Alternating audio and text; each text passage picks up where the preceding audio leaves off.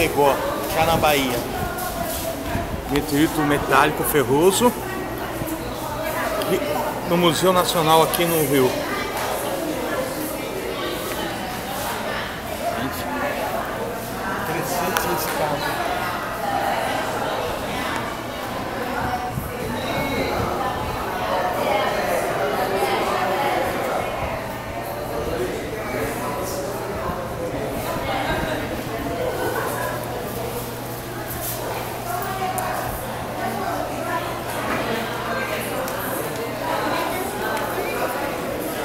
Meteorito ferroso, 95% de ferro.